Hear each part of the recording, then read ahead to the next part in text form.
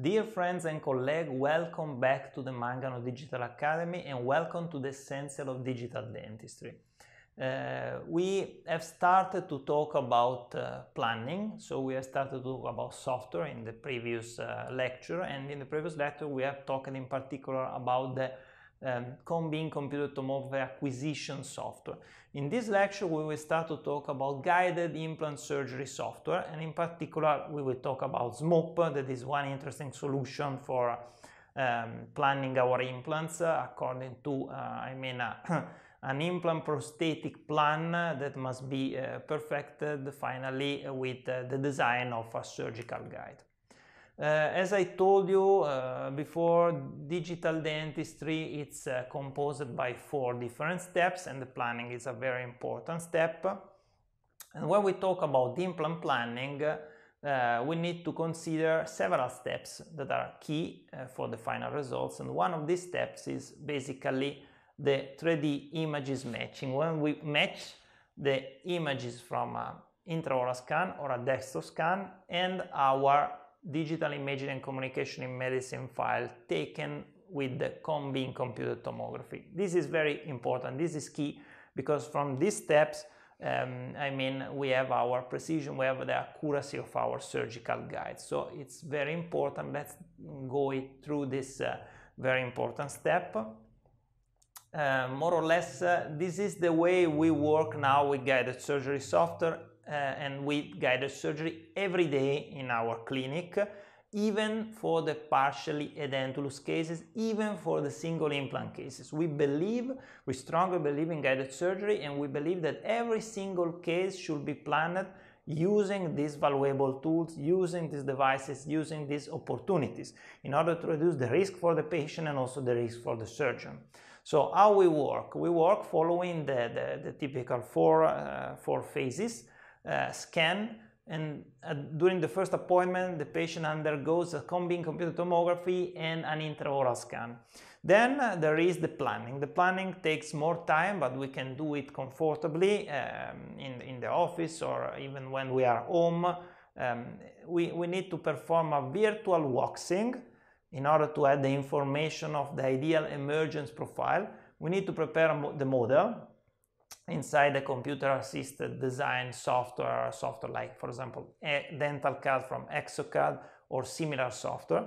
And then we go through the mm, basic steps, the basic uh, procedure inside the guided surgery software. In this case, we talk about the SMOP software from the Swissmeda.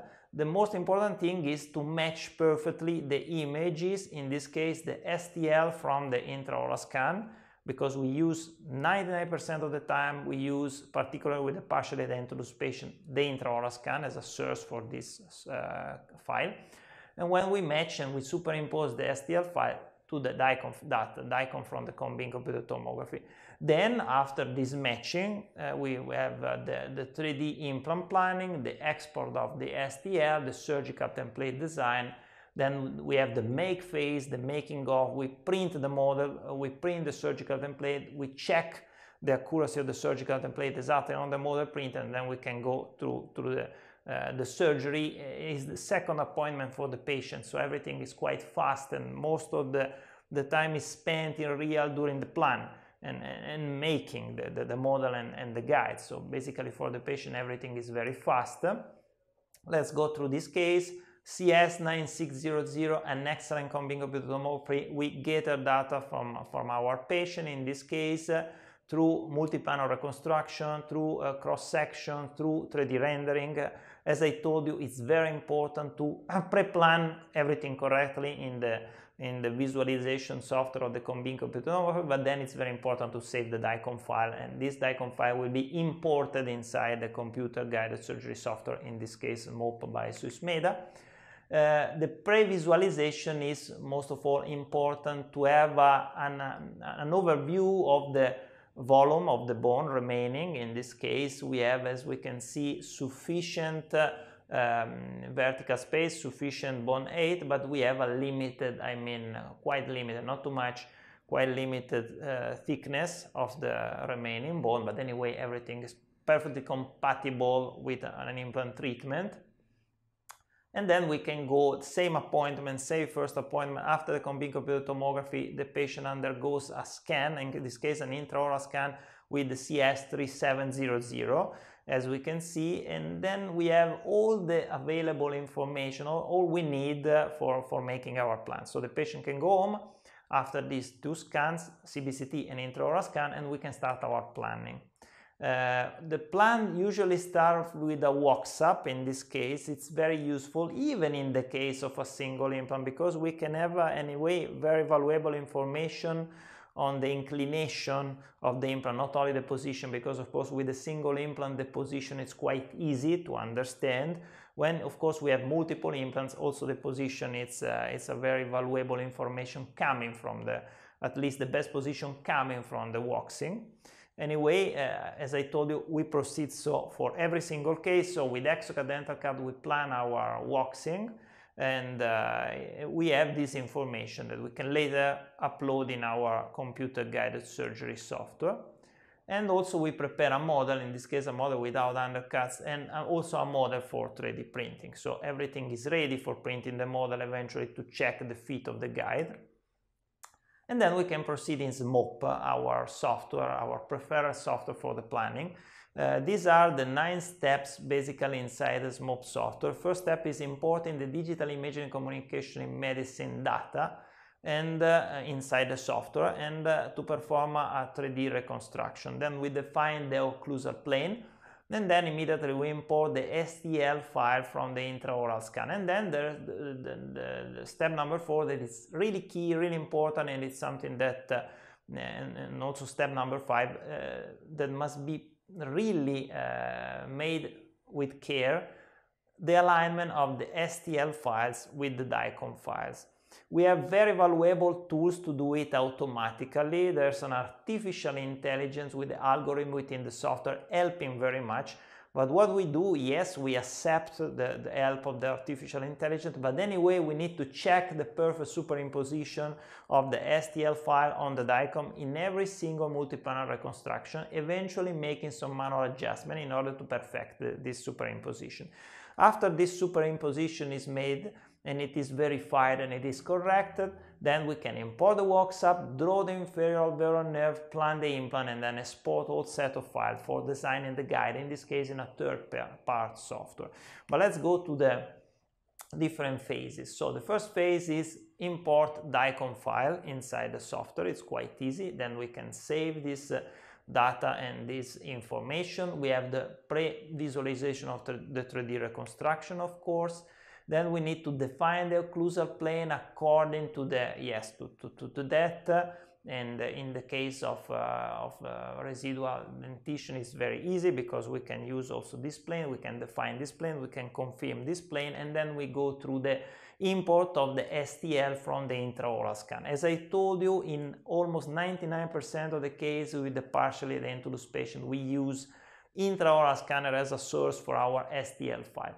And then we have the STL file on one side and on the other side we have the 3D reconstruction from the CBCT. In this case we are quite lucky because there's not too much scattering from the metal and everything is very visible. Not in all time, not all time it's so, but anyway uh, we, we, we need to, to perform this superimposition and uh, uh, the, the software really helps to perform this superimposition using valuable tools uh, that can help us to do it automatically as I told you, because we can define, of course, uh, the, the, the, a series of points in, in, the surface of the STL and also in the surface of the, the, the 3D reconstruction. And then automatically the software will, uh, will align the two models, in particular the STL model on the DICOM model. And uh, I think five points in this case are sufficient. We need to manually select this point for the first overlapping. It's very important. And um, in this video, we see that immediately the, the software is intelligent and perform the, the, the superimposition and try to perfect the superimposition as well. And uh, we can accept this uh, superimposition suggested by the software after this manual, I mean, um, um, alignment uh, and uh, the, the, the, automatic alignment by the algorithm but then we need to mm, yes accept it because most of the time 90% of the time it's perfect. But anyway we need to check check the, the superimposition in through all multi-planar reconstruction carefully um, slowing. We need to spend time in this phase because this phase is very important. So checking the superimposition in every single slide in every single multiplanar reconstruction. It's important um, and uh, we need to switch to the different views in order to understand if this uh, superimposition has been performed well. And uh, as I told you, comparing to what uh, happened 10 years ago, now we are very lucky because we have powerful operator, powerful algorithm, um, an artificial intelligence inside the software that is capable to help us very much. It's very important to visualize the margin of the STL file and to verify the adaptation of this margin to the anatomy in the, um, of course, uh, different multiplanar reconstruction because it's, it's key for the final precision, for the final accuracy of the guide because if we have this uh, um, this step performed very well, then we will likely to have a guide that is uh, almost uh, perfect in the in the in the not only in the adaptation but uh, also uh, uh, the position of the implant that will reflect really our plan. Otherwise, we can have problem in this.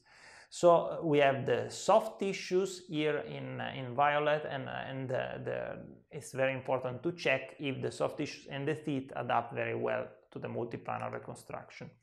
And after this, we can really, after we have performed and checked and verified the alignment, that is key, a very important thing inside the software, then we can import the wax-up. And the wax-up will go exactly in the correct position because the wax-up is made according to the STL file of the intraoral scan. So we can import it and the soft and the wax-up goes automatically in the correct position. I suggest to prepare the wax-up before using a computer assisted design software like Exocad for example. But of course if you want if the operator want uh, you can design and draw your wax-up exactly here. In SMOP you spend a little bit more time but it's at the end the same. You can adapt a little bit your wax-up in order to, to if you want to move it or adapt it but usually you don't have to do nothing because uh, if you have modeled in a uh, software like Exocad and in the same intraoral scan that you have imported here, the position will be correct. You can draw the inferior alveolar nerve once again, and it's easy to do it with the proper operator of the software once again, and you can do it in, in the different section, but particularly in this case, it's easy. And once again, the artificial intelligence of the software help us to identify the, the, the path of the inferior alveolar nerve. And here we have our reconstruction, our 3D reconstruction that is a real 3D reconstruction, not only a rendering, because we have a 3D model of the bone, we have the model of the soft tissues and the teeth and the wax-up. And according to this information, we can choose the proper implant from the implant library. There's a huge library in SESMO with the best implant, with most important brands, with the different length, diameter, and also a series of prosthetic components that can be really helpful in our planning. So you need to dedicate a lot of time for the planning. I think it's key because really planning well, it's key. It's very important. It's so important that you need to spend time here. You don't have to go fast in this phase because you need to check your planning, check the position, the inclination, the depth of the implant very carefully according to the um, volume of bone available and according to the wax-up as well. Because at the end, the final position of the implants is always a sort of compromise between the available bone that dictate the position and the inclination of the implant, the depth of the implant, but also the prosthetic wax-up because the prosthetic emergence is very important and we have to consider that we have also of course valuable tool like uh, of course uh, uh, T-Base and also we have the possibility to design um, tilted abutment. We have a series of prosthetic components that can help really if the implant is not uh, perfectly placed from a prosthetic point of view. So probably the anatomy dictates the position more than the, the waxing, but anyway, the waxing must be considered. So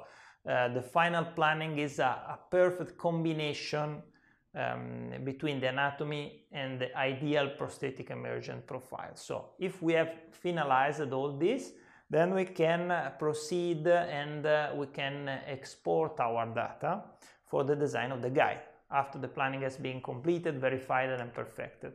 Uh, as we can see here, the, the, planning has been perfected. We can also pre-visualize the position of the scan body, particularly useful in case of immediate loading. It was not the case, but if we want to plan an immediate loading, we can prepare the crown, we can prepare the abutment in advance before to place the implant, and we will likely to save a lot of time after the implant has been placed in order to prepare to place our crown correctly but this is mainly for immediate loading and it's also useful tool for checking if our planning is um, uh, has been uh, fulfilled after the implant has been placed. I mean, if there is a correspondence of, between the real actual position of the implant after surgery and the planned position. This scan body can be used also to check this, but it's mainly available uh, as a resource, as a tool for the, the immediate loading. And uh, then we can export the whole set of uh, stereolithographic standard tessellation file for further processing. In this case, the surgical guide design. In the last months, we have uh, uh used a lot this new guided surgery system, these new guides, the HypnoGuide.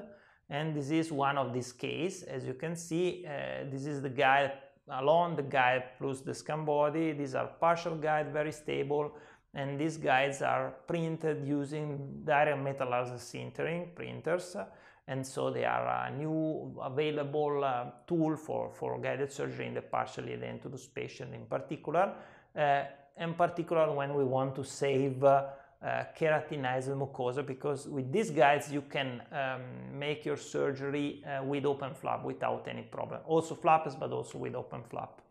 This is the guide designed in Meshmixer, an open source software. Then you can re-import the guide inside the SMOP, check if everything is correct, and then you can go through the surgery on patient. And this is a very easy case, very simple case. Uh, open flap, a little flap, absolutely minimally invasive, but uh, you can have the full control of the situation and most of all, like in this case, we wanted to save the keratinized mucosa. In this case, a flapless approach may not be beneficial because we can lose the very important keratinized mucosa that is uh, important for the long-term stability, the long-term success, the long-term survival of the, the implant. So this is the surgery on patient and everything is uh, finalized and it's an everyday case uh, um, using with the, the, the powerful SMOP soft, software by Swissmeda and the HypnoGuide. So thank you very much for your kind attention.